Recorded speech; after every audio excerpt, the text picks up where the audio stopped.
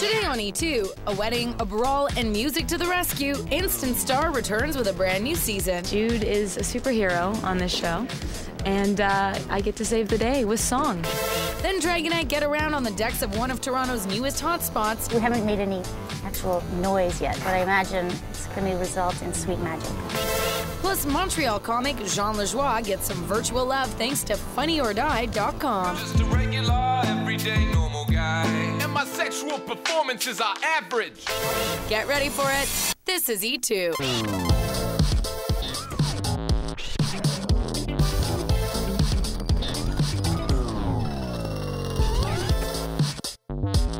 Hey guys, Amanda Sizon. Welcome to the show. Today, Martina Sorbara went from being a folk solo act to the front woman of new wave pop band Dragonette. Today, she's going to show off her talents behind the turntables. Then, after making low budget music videos in his basement, Montreal comedian oh. Jean Lajoie is getting some serious attention from his biggest fan, Will Ferrell. But first, as Instant Star gets underway in its fourth and final season, we caught up with the show's cast, Alexz, Tim, and Laura, to make sure the series goes out with a bang. Definitely expect some drama this season.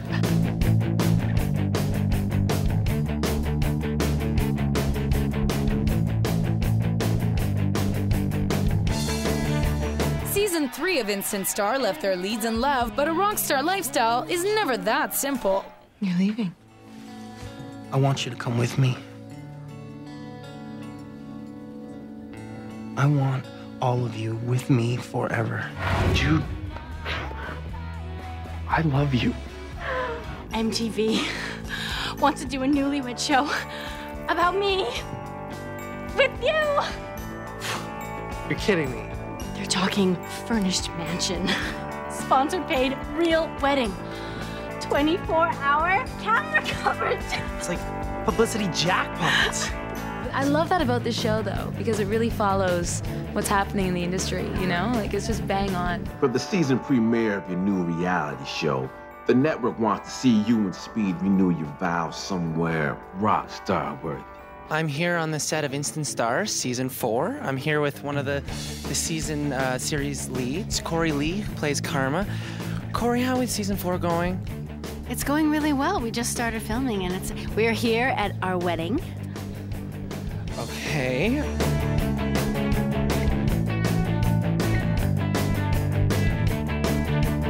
Here I am about to get married.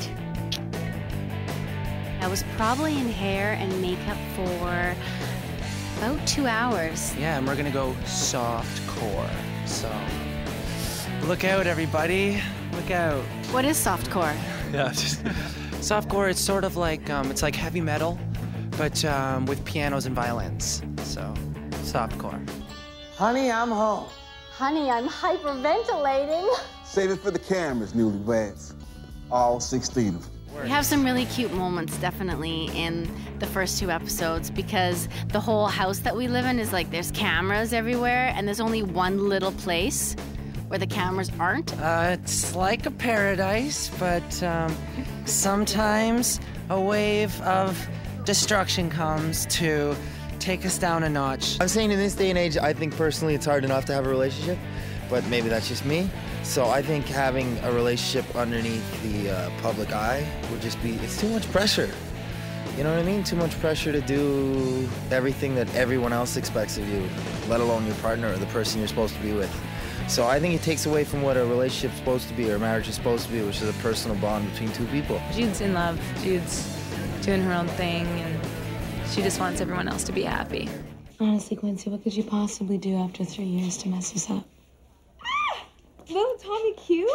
I barely recognized you without your cornrows. Cassandra Hayward, you dirty dog. What are you doing here? Whole famous people being married and how long will it last? I'll give you a little hint. Uh, um, you know, House of Cards. Oh, mate. How you doing? The whole Jude Tommy thing. Fine. Thanks. All right.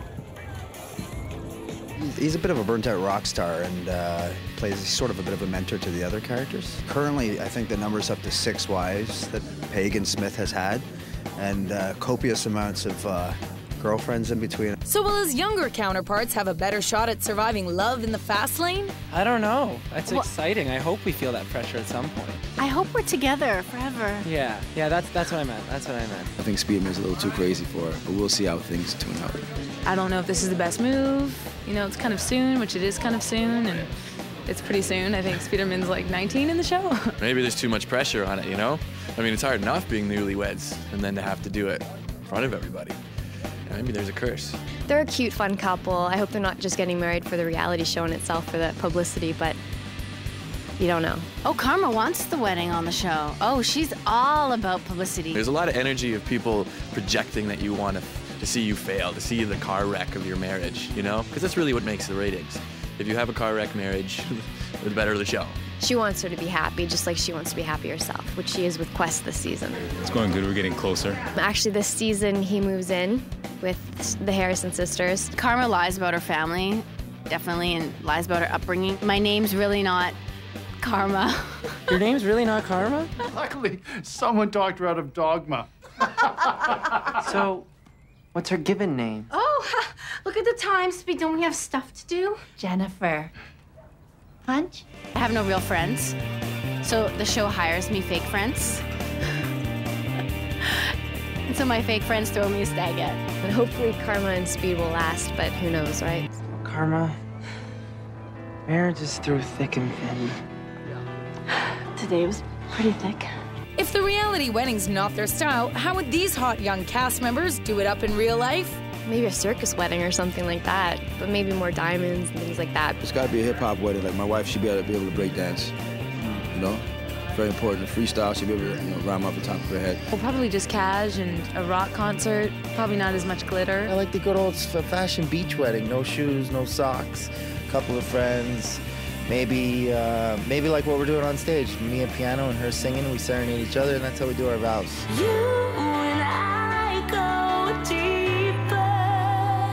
gotta tune in. You gotta watch Instant Star on CTV.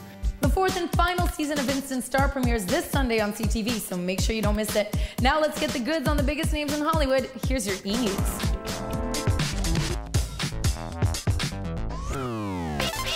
OK and People magazines are in a bidding war over the first Brangelina twin pics. The cost for the latest spawn of Angelina Jolie and Brad Pitt, who may or may not already be born, has reportedly hit the $15 million mark. It could go higher because neither mag looks ready to blink just yet. People magazine has announced that Kevin Federline will be given the Father of the Year award this Father's Day, which might come as a surprise, except for two things. One, Dina Lohan was recently recognized as a top mom by a charitable group on Mother's Day, and two, it's a Las Vegas nightclub who have decided to present K-Fed with the award. Federline will host a party at Privé on June 13th where he'll be recognized for fathering four children, including two with Britney Spears. We really want to know what you think on the latest entertainment news, so now it's the perfect time for you to log on the E2 website and get scaled. On yesterday's poll, we asked what you think of the announcement that Sex and the City's Kristin Davis is launching her own fashion line. 63% of you guys said you'd definitely put up the cash to dress like Charlotte. Here's today's question. Now that Canadian Idol is back, what's your predictions after the first round of auditions? It's going to be the best year ever, you've already picked the winner, or you only watch the auditions for the train wrecks. You tell us, log on to mtv.ca slash e2 and cast your vote.